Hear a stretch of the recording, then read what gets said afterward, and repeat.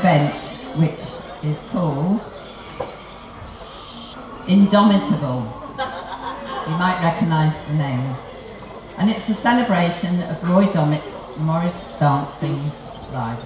So this is about, to start with, how it all started. And it was because Roy shared a flat with someone called Alan Browning from Farnborough Morris, who promptly invited Roy to dance in the team. So you can see Roy here on the right. Roy started dancing, and you can see him again here at the back, actually very suitably high off the ground, as he would wish from other dancers. So while Roy was busy enjoying himself with the Morris men and the occasional beer, Marguerite was also welcomed into the Morris world. Roy grew a beard. He donned an Andy Pandy outfit with Marguerite's help. And he fathered a rather large number of children, again with Marguerite's help. Roy became a leading figure in the Morris world. He taught wherever and whenever he was wanted, wanted including Cecil Sharp House, Sidmouth and Halsway Manor. And in 2001, he was awarded the EFDSS Gold Badge at Cecil Sharp House by Brenda Godrich.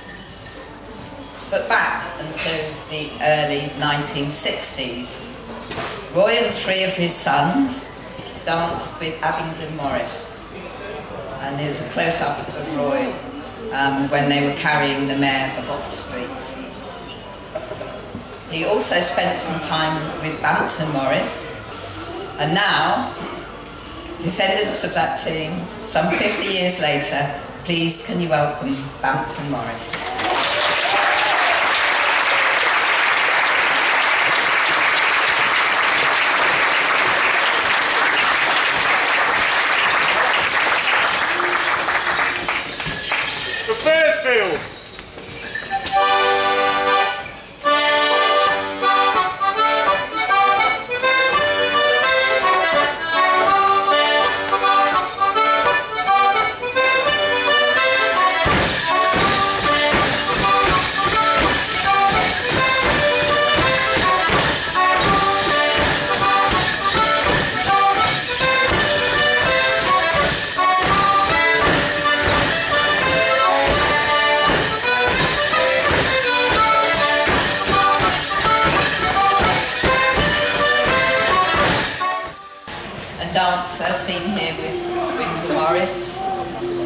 Motivator and recorded, seen here with Tubby Reynolds and Alan Weir, and collector and recorder. And this is um, a letter he'd written to Lionel Bacon saying, the whole business of the Morris on the edge of the Cotswolds needs looking at in detail. It's what he spent a long time of his life doing. He was also a fool, and you can see him here on Sidmouth Esplanade. And a friend, and this is Roy with his friend Tubby Reynolds, also. So one of the great memories of the early 1970s in the modern history of Morris was Roy's inclusive attitude to women. We'll now relive the story of his support for women learning to dance Morris at this festival. Surprising that the workshop is causing a problem. Everyone loves to come along and learn the Morris dances. I think, Bill, it's the word everyone that's causing I will not have it! Girls can't learn to Morris dance!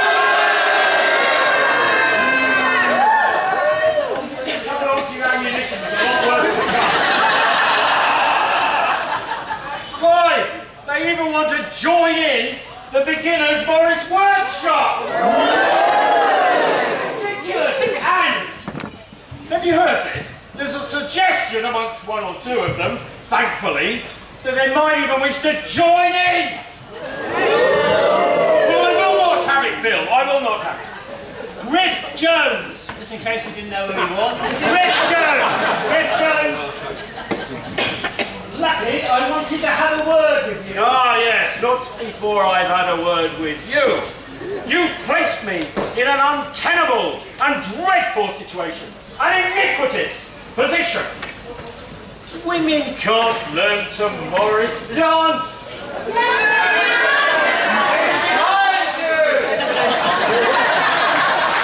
It's an impossibility. No, it's not.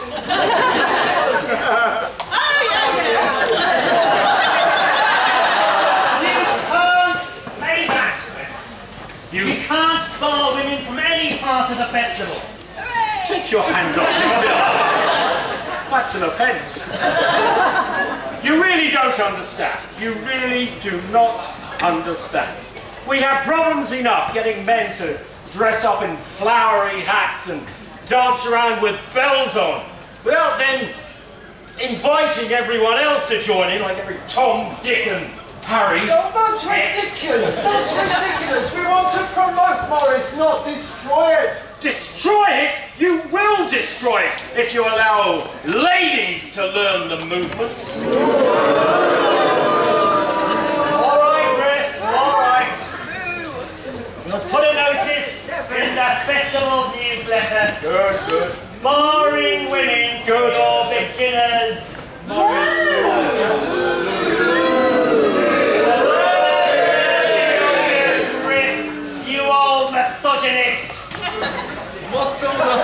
About? Mr. Morris! Riff Jones wants to bar the winning from the beginners Morris workshop. I wish him luck doing that. They're welcome to come and attend my advanced Morris workshop. Oh, that's very exciting news. Very pleased to hear it. Anyway, I must run. See you all later. Thank you. You've saved the day, and probably the Morris as well. I'll now show you a video clip from when Roy was chair of the judges for the Morris G competition in 1990. Roy liked to say what he wanted to say, as we are about to see. The great thing about being, you know, an adjudication of things, is you get a chance to stand up at the end and say what you think, not what you think, you know, what I think. And what's more, the thing that they advocate by electing me to stand up is I get to say what I want to say, although they have heard it to that completely rubbish. Roy was as good as his word. He dug out dances that appealed um, to the newly emerging women's teams without especially upsetting too many Morris men. Here's Roy clearly enjoying his day out with Bath City Morris. In fact, he had strongly also supported the Morris Ring, having stood for Squire and been a driving force behind Lionel Bacon's Handbook of Morris Dances that we. Roy also identified dances for women to explore, including those from the Cheshire Plain, and here is the typical notation from uh, Roy's books. Uh, this is Knutsford with nice little diagrams showing the dancers where to go. He also um, hooked out some garland dances. Um, this is shown here by Minden Rose, who you'll see in a minute, and Roy can be seen playing at the back. And stave dancing, and here's Roy dancing with Abercorn. Roy joy, enjoyed many days out with different teams. So this was a day out in the countryside with uh, Fleet Morris, who we'll see later. And he also um, spent time with Fleur de Lis and Somerset Maids. And we see, we'll see Somerset Morris later on as well.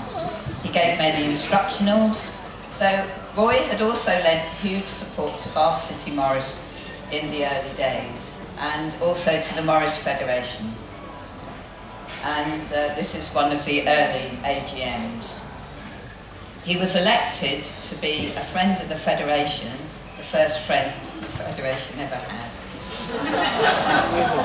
and he even made it to the Morris Federation's 40th anniversary in Bath in September last year. So we now have dances from three teams that Roy worked very closely with. And uh, we'll start with Minden Rose.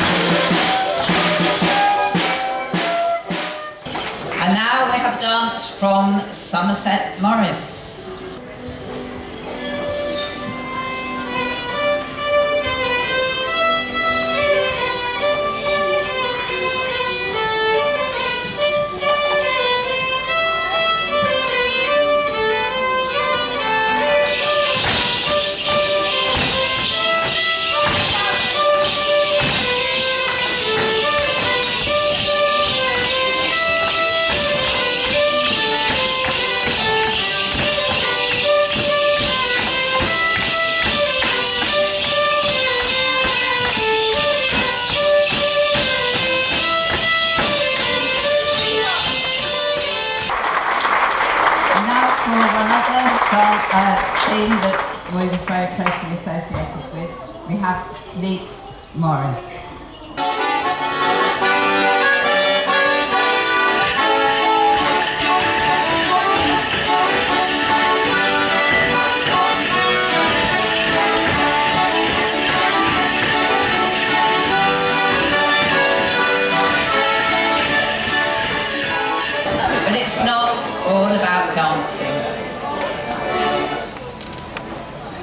Mummers were performing in the 1880s, and the current revival of this Boxing Day tradition dates from 1963.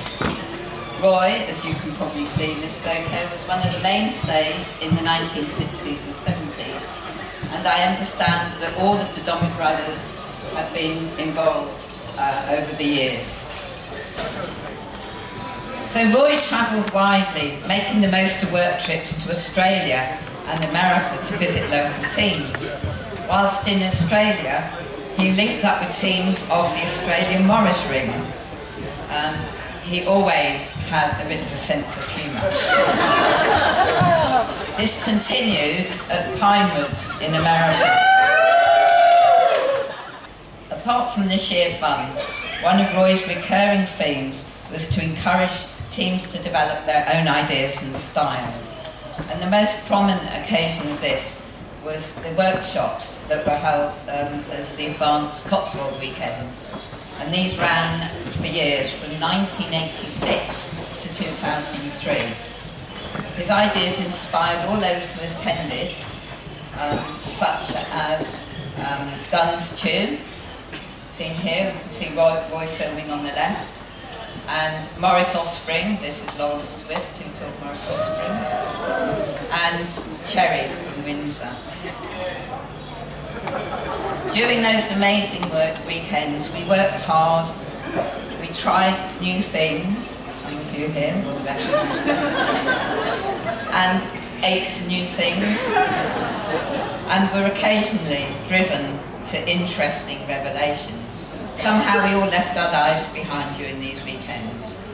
We now have a short clip from one of the Advanced Cotswold weekends showing Roy's special style of teaching.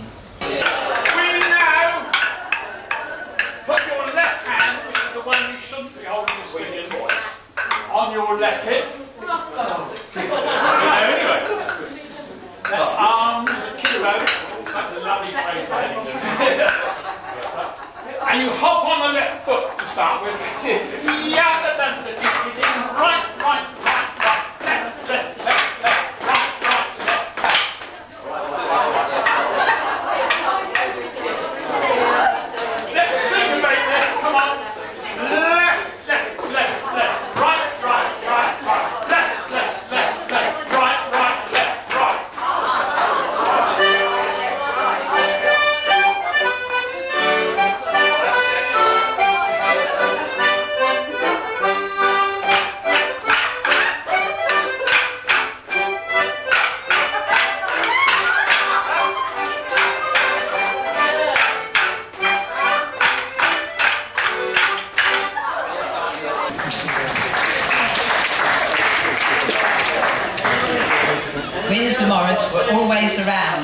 Roy facilitated their first appearance at Sidmouth in 1976. Windsor said, Wednesday of Sidmouth was perhaps the high spot of the past two years' effort. We were invited by Tubby and Roy to do one dance at the Ceilidh, along with the other sides who were there. Roy introduced us as particular friends of mine, which immediately armed us with confidence. We danced jockey as never before and brought the house down. And now, 40 years later, still the same people, I think. Here are Windsor to dance Alexander's demise.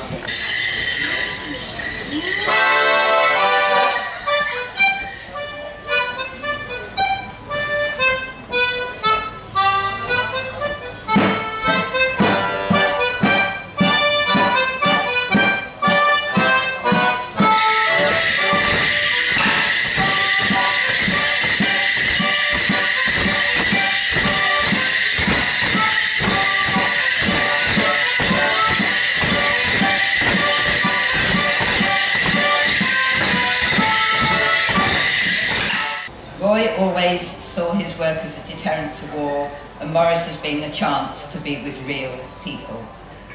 Here is Roy telling of an interesting moment in his career. And the one which caused us most amusement was um, I went to see a team called Barley Morris who danced at Dudley in the Birmingham area. And they had been, the, the couple we went to stay with had worked on the restoration of the Dudley Birmingham Canal tunnel and so on. And we went out with them on the Saturday into the town centre to dance. I then saw the Dudley, saw the Barley Morris in their kit, which had a large CND badge on the front. So I thought, oh my God. then they started um, to dance in the main square in front of a large crowd. And the police inspector came up and said, not Morris dancers as well, bugger off into the uh, shopping mall. And I realised we were part of what was a CND demonstration going on. So we went into the uh, shopping mall and had a, a, very good show and brought in some young men to dance and decide who had never danced in a, in a team with women and we were a bit surprised how strongly the women could hit them with sticks. but it wasn't till afterwards when the security officer came back to me, Ari, and said, You're on this film of this demonstration, CND demonstration. What the hell were you doing there? And I said, Well, it came as a surprise to me as well. Roy always encouraged teams to be disrespectful but not disreputable. And of course that immediately thinks of one team here standing in the wings. So here to dance for us with Roy's words in their hearts is Great Western Morris.